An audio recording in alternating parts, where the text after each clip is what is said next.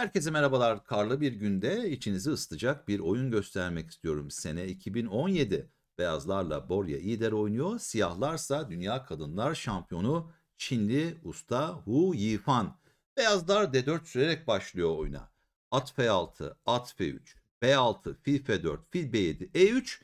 İşte bu sistem Londra sistemi olarak bilinir. Beyazların en önemli amacı sade bir şekilde, basit bir şekilde gelişmek ve E5 karesini kontrol etmek. Siyahlar merkeze piyon getirmedi ama geliştiği fili ve atıyla E4 ve D5 karelerini nasıl kontrol ettiğine dikkat ediniz. Bu da hipermodern satrancın temelini oluşturmakta ve dahası şimdi G6 sürerek diğer fili de çaprazdan geliştirmeye karar veriyor Hu Yifan. H3 hamlesinin amacı fili H2'ye saklayabilmek, atın olası bir saldırısına karşı önem veriyor o file. Açılışın temelini oluşturmakta, ruhunu oluşturmakta. Fil G7 hamlesine fil E2 ve şimdi mütevazi bir piyon sürüşü D6. Neden D5 değil de D6? Çünkü o zaman beyazlar amacına ulaşmış olur. E5 karesini çok iyi kontrol eder. Yani burada aslında merkeze piyon getirmiş olmak, merkez kontrolünü kaybetmiş olmak anlamına geliyor. Bu basit D6 hamlesi beyazın kuvvetle kontrol ettiği E5 karesini tutuyor. Bugünkü oyunumuz temelde piyonların gücü ve piyon zincirinin önemi, konuma etkisi üzerine.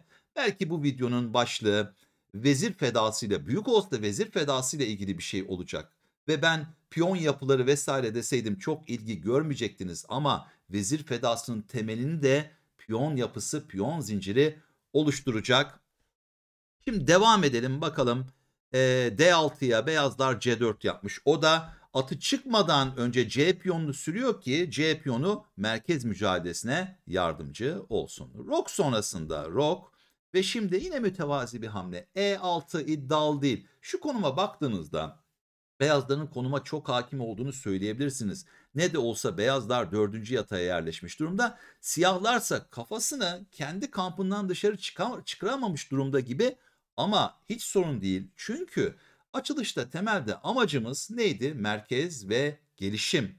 E peki siyahlar gelişti mi? Gelişti. Merkez kontrolü nasıl? Merkeze piyon getirmedi ama bu iki kareyi çok güzel bir şekilde kullanıyor.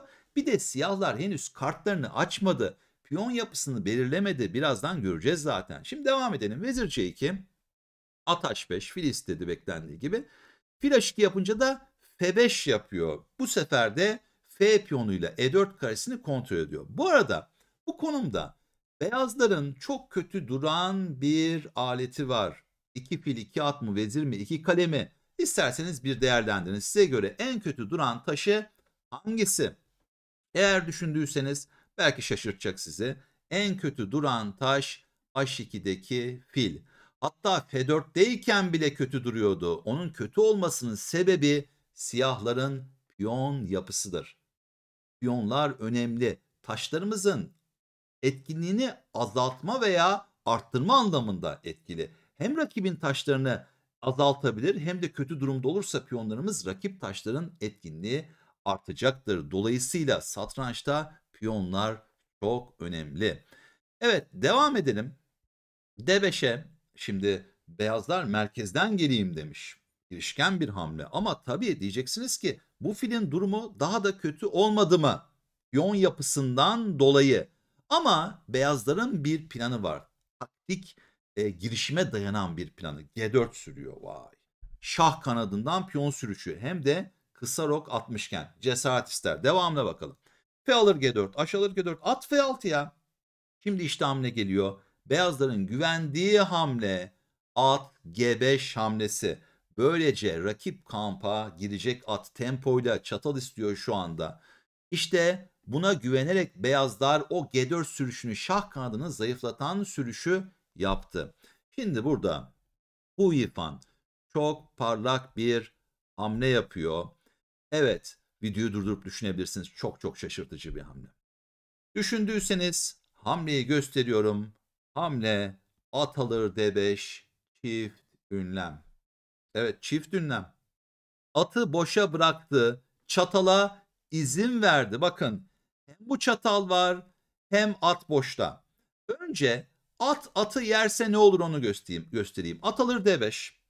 Vezir G5. Bunu bekleyecek. Bekliyordu zaten siyah. At C7 yaparsa kaleyi isterse burada kale F3 çift ünlem bu filin yolunu kapattı. Dikkat edin bu piyonu almak için. Eğer beyazlar önce bir kaleyi sonra diğer kaleyi alırsa burada artık mata çare yoktur hem G2'den hem H1'den. Dolayısıyla geriye dönüyorum. Atı alamayacağımızı anladık. Peki beyaz ne yapıyor? At alır E6 ile beklendiği gibi çatalını atıyor. Şimdi burada veziri kaçarsam beyazlar piyonla at alacak ve önde. Ama işte Hu Yifan burada hamleyi çok önceden hazırlamış ve at alır C3 çift ünlem. Önceden planlanan vezir fedası uygulanıyor. Şimdi at alır D8 çünkü taş almıştı artık almalı. At alır E2 araşa. Vezir alır E2 sonrasında. Şimdi siyahlar kaleyi alınca vezire karşı iki hafif fil ve at olacak. Ama dikkat burada bir incelik var. Eğer hemen aklınıza gelen kale A D8'i yaparsanız F4 ile beyazlar rahatlar. Çünkü konumu açabilecek kaleleri için. Ama işte bu durumda bile ara hamle yapıyor Huyifan. O da fil F3. Harika.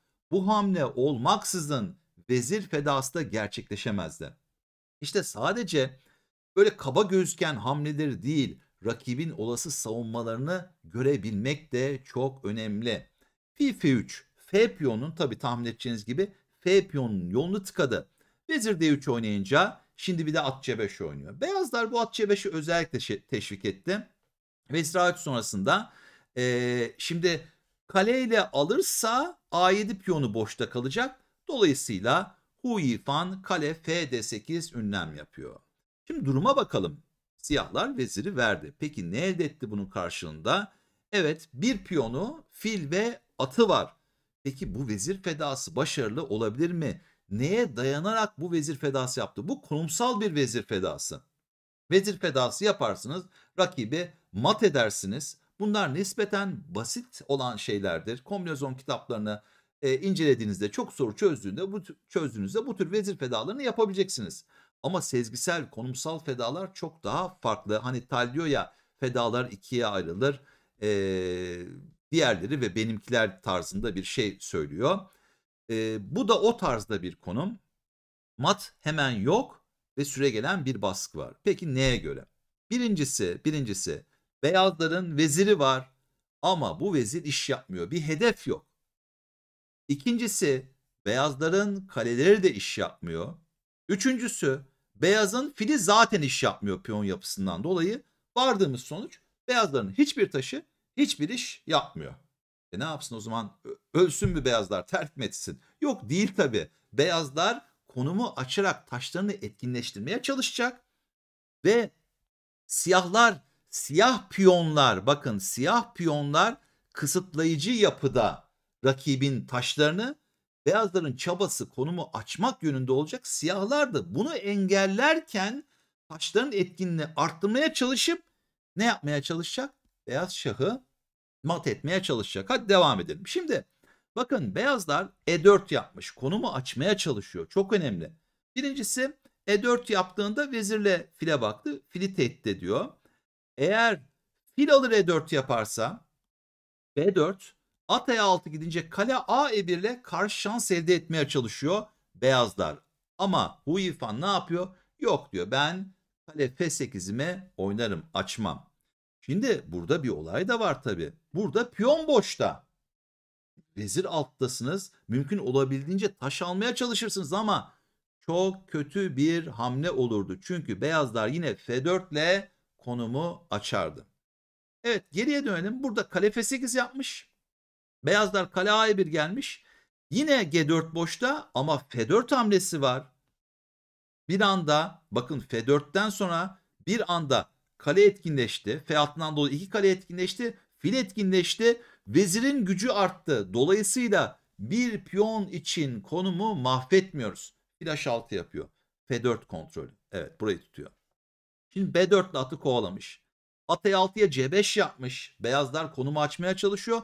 Ama at D4 gelince at E2, at C2 tehditleri var. At harika bir konumda tabii. Vezir D3 ile oraları tutmuş. Şimdi B, B5 ile konumu yine kapatıyor. Bakın beyazlar açmaya çalışıyor. Siyahlar kapatmaya çalışıyor. Tamamen piyon zincirleri ve piyonlarla ilgili bir oyun bu. Vezir fedası sizi yanıltmasın. Fil G3. Taşını etkinleştirmek istiyor. Olur mu? İzin vermeyiz. Fil G5. A4 konumu açmaya çalışıyor. A6 vezir A3'e artık diyor ki e, e, siyahlar Huifan konum kontrol altında toplamaya başlayayım. Fil alır G4 yapayım. E, F4 süremiyor. Boşta şu anda. Tam kontrol var. Dolayısıyla beyazlar ne yapmış? Kale D1 yapmış. Belki de belki de değil. Şu anda ata patlatıp D6'yı almak istiyor. Dikkat edin. Kaleler tamamen çaresiz. Aslında beyazların tüm aletleri çaresiz durumda. Ve bu arada bakın şu kale de boşta. Kale boşta inanılmaz ama siyahlar umursuyor mu? Umursamıyor. At F3 şah çekiyor. Fil o kaleden çok değerli. Zavallı hattı olmayan kaleyi neden alsın Huifan? Şah G2. Şimdi DC5, BC5'e H5. Şah kanından geliyor. Vezir A2 beyazlar çaresiz. Debeleniyor oraya buraya giriyor ama e, sonuç getirmeyecek girişimler. Vezir kaldı orada öyle ve e, matağı kurmak üzere burada piyon ilerleyecek. H4 sürüşü. Efendim H2 gidince atı alıp kale E7 gelip oradan yıkacak. Dolayısıyla beyazlar e, yine atı ortadan kaldırmaya çalışacak. Kale D3 yapıyor. H4 fil H2 B alır A4 vezir alır A4. Şimdi şah H6 İleride kalenin D7'ye gelip kesilmesini fil giderse bir yere engellemek için bir şah H6 oynuyor. Bir de soruyor sen ne yapacaksın? Vezir A3 kale E7 konumu geliştiriyor. Vezir B2 kale E7. E5'i yine bir tuttu. C6 A5. A siyahların bir de geçer piyonu varmış. Bu geçer piyon beyazların dikkatini dağıtabilecek bir piyon. Kale B3 şah G7 kale B5 H3 şah H1. Şimdi burada en sonunda beyazlar büyük hata yapıyor. Zaten parlak değil durum ama burada en iyi hamle kaleyle atı kırmakmış. Kale B3 gittiğinde H3 yapıyor. Şah H1'e at alır H2. At alır H2'den sonra ne var?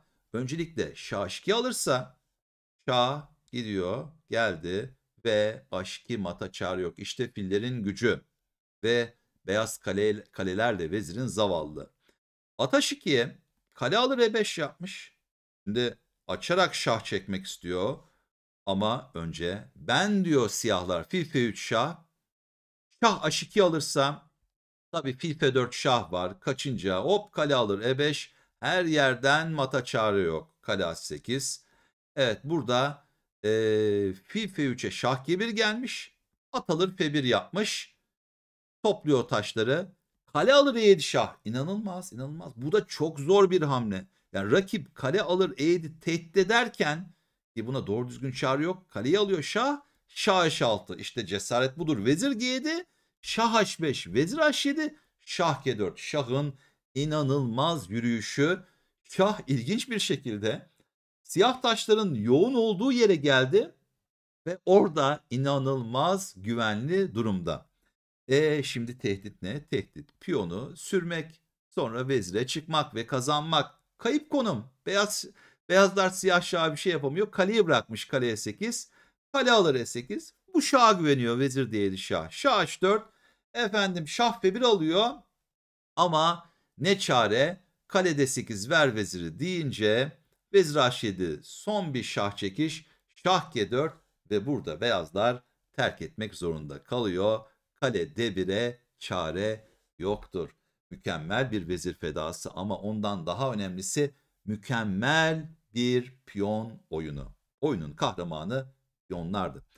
Umarım oyunu ve anlatımımı beğenmişsinizdir. Beğeninizi esirgemezsiniz. Sevinirim. Sonraki videolarda görüşmek üzere. Saygılar, sevgiler.